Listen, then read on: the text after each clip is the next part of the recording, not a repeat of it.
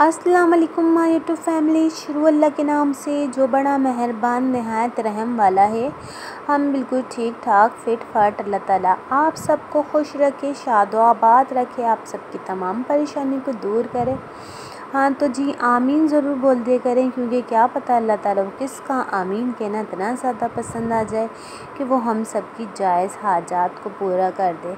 तो जी, यहाँ पर हस्बैंड जी के लिए बन रहा है ज़बरदस्त सा हस्बैंड का फेवरेट वाला अंडा।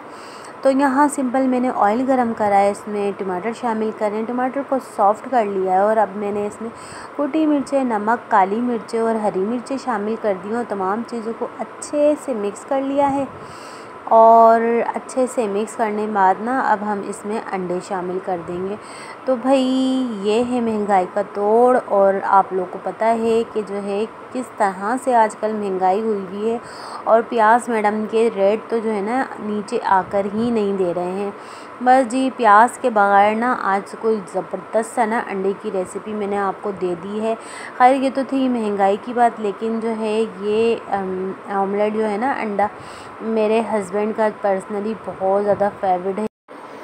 बस जी, आजकल जो है ना हेल्थ का कुछ इस तरह का इशू चल रहा है कि डॉक्टर ने जो है ना, मना किया है कि पराठे शराठे ऑयली चीज़ें खाने को। बस जी, यहाँ पर रोटी हो गई थी तैयार और भाई सूखी सूखी रोटी ना हलक से नहीं उतरती है। तो यहाँ पर ना घी की लिपड़ी चुपड़ी रोटियाँ तैयार हो गई थी और यहाँ ऑमलेट भी तैयार था। तो हस्बैंड वाइफ ने कर लिया था मज़ेदार सा नाश्ता और अब ना यहाँ पर धनिया काफ़ी सारा हस्बैंड लेकर आए थे ना तो बस फिर मैंने सोचा इसको भी थोड़ा सेव कर कर रख लिया जाए। तो धनिया जो है ना अक्सर आता है ना तो फिर क्या होता है कि जो है ना धनिया ना अक्सर जो है ना ज़ाया होके जाता है तो बस फिर मैंने जो है ना दो तीन तरीके से जो है ना धनिया को सेव करने की कोशिश करी पिछले दिनों मैंने आप लोगों के साथ शेयर किया था कि मैं जो है पेपर में जो है लपेट के रख लेती हूँ फिर उसके बाद जो है कंटेनर में भी करके रखा काफ़ी तरीके से मैंने धनिया को सेव करने की कोशिश करी लेकिन ये दो से तीन दिन में जो है ना धनिया कोई जो है ना इतना सड़ जाता है कि बस मैं क्या बताऊँ कि दिल दुखता है, इतनी महँगाई के दौर में कोई चीज़ ज़ाया होती है ना? तो बस जी, फिर मैंने सोचा कि जो है मेरी जो जेठानी है, उनका ये हैक ट्राई किया जाए। तो उन्होंने मुझे बताया कि जो है ना, इस तरह से जो है जेम का जो जार होता है ना, कांच वाला, इसमें आप धनिया को कट कर कर रख लें। तो ये जो है ना, तकरीबन हफ़्ता तक चल जाता है। बस जी, मैंने सिंपल यहाँ पर जो है ना, धनिया को साफ़ कर लिया है वॉश कर लिया और उसका पानी बिल्कुल ड्राई कर लिया है। धनिया यहाँ पर ना, हमारा बिल्कुल भी नहीं होना चाहिए, उसमें पानी नहीं होना चाहिए। बस जी, धनिया तमाम मैंने कट कर लिया था और यहाँ मैंने ना एक जो है जार ले लिया था कांच का और इसमें मैं धनिया जो है ना अपना भर कर रख लूँगी। अब देखते हैं, ट्राई करते हैं कि कितने दिन तक हमारा इसमें जो है धनिया फ्रेश रहता है। और वैसे तो ये जो है हैक ट्राई किया हुआ है और यूज़फुल है काफ़ी तो फिर मैंने सोचा मैं भी चले, ट्राई करती हूँ। और आप लोगों के साथ इसका रिव्यू शेयर करती हूँ। लेकिन मेरे साथ तो जो है ना, दो से तीन जो है मैंने हैक ट्राई करे हैं तो फिर चार दिन से ज़्यादा जो है ना धनिया फ्रेश नहीं रहता है उसमें। अब इसका देखते हैं कि इसका क्या रिव्यू रहता है तो फिर मैं इन आप लोगों के साथ ज़रूर शेयर करूँगी। बस जी, इसमें जार में ट्रांसफ़र कर दिया है मैंने और अब मैं फ्रिज में रख दूँगी। और भाई, आ जाते हैं यहाँ पर कुकिंग टाइम और आज जो है ना काला मसर पक रहा है तो मलका मसूर की दाल बन रही है और इसके साथ बनेंगे ज़ीरा राइस। तो सिंपल यहाँ मैंने पानी में जो है बॉयल दे लिया है। उसमें अदरक लहसुन का पेस्ट शामिल किया है। और रेगुलर के स्पाइसेस शामिल किए हैं। हल्दी, धनिया, मिर्चें, साथ ही जो है ना टमाटर और प्याज भी शामिल कर दिए हैं।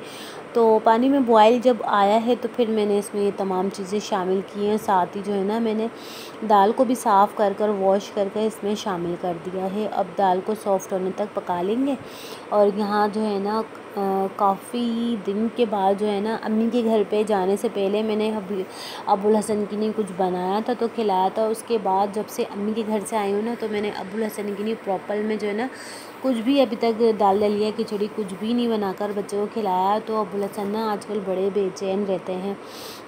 बस जी, आज मैंने ना फाइनली जो है ना अबुल हसन के लिए जो है सूजी वाली खीर बना ली थी और यहाँ जो है ना बच्चियाँ भी ट्यूशन से आती होंगी तो फिर मैंने चाय भी बना ली थी तो बस फिर मैं और बच्चियाँ ले लेंगे चाय। तो बच्चियों में सिर्फ़ नवेरा ही हैं जो चाय लेती हैं, बाकी दोनों बच्चियाँ नहीं लेती हैं। और नवेरा भी बस ना पापे शापे खाने के चक्कर में जो है थोड़ी सी चाय ले लेती हैं। और अब यहाँ देखें, दाल जो है ना सॉफ़्ट हो गई है और जो है अब मैं मैशर की मदद से इसको मैश कर लूँगी। तो इस दाल को ना बिल्कुल मैश नहीं करना होता है आपने थोड़ा सा खड़ा खड़ा सा दाना भी रखना होता है। अब जी यहाँ पे ऑयल गरम करा है, इसमें ज़ीरा शामिल करा है, चावल शामिल करा है, पानी शामिल करा है। तो यहाँ पर हमारे जो है ना, ज़ीरा राइस जो है तैयार हो जाएँगे।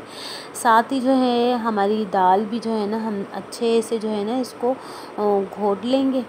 और जो है दाल घोटने के बाद अब हम इसमें नमक शामिल करेंगे।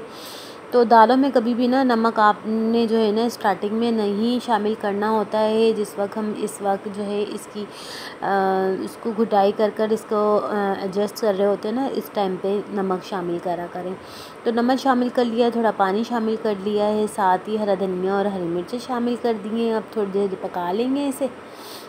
और अब हम लगा लेंगे अपनी दाल में जो है मज़ेदार सा तड़का। तो ज़ीरा, प्याज और साबुत मिर्चों का आज मैं तड़का लगा रही हूँ। तो बस फिर कभी मैं जो है ज़ीरे के लहसुन के साथ इस दाल में तड़का लगाती हूँ, वो कभी जो है प्याज के साथ लगाती हूँ। तो दोनों का ही अपना एक डिफरेंट टेस्ट होता है और बस फिर डिफरेंट डिफरेंट तरीके से कुछ बनाए ना तो फिर थोड़ा मज़ा देता है हर चीज़ ना। और यहाँ देखें भाई, ज़बरदस्त सी हमारी दाल चावल की प्लेटर हो गई है तैयार। बिल्कुल रेस्टोरेंट स्टाइल में तो बस फिर मैंने जो है ना, वीडियो में खूबसूरती के लिए ना यहाँ पर एक प्याली में जो है चावलों को जो है जमा लिया था और फिर इसको सर्विंग प्लेट में ना सर्व करके आप लोगों को प्यारा सा अच्छा सा डेकोरेट कर कर दिखाया है। लेकिन आप ये हिमाका ज़रूर नहीं करिएगा क्योंकि जो है, मैंने जब ये चावल कटोरी में जो है ठुसाए ना, उसकी वजह से चावल सारे चूरा हो गए थे। खैर मज़ेदार सा हमने अपना कर लिया था डिनर, सिंपल वाला और यहाँ अबुल हसन की मस्तियाँ ख़त्म नहीं हो रही थी। बच्चियों ने डिनर कर लिया था और बच्चियाँ सो गई थी क्योंकि बच्चियों को सुबह जाना था स्कूल, लेकिन अबुल हसन को कोई नींद ही नहीं आकर दे रही थी। ये तो आज का छोटा सा ब्लॉग, कैसे लगा ज़रूर बताइएगा। अल्लाह हाफिज़।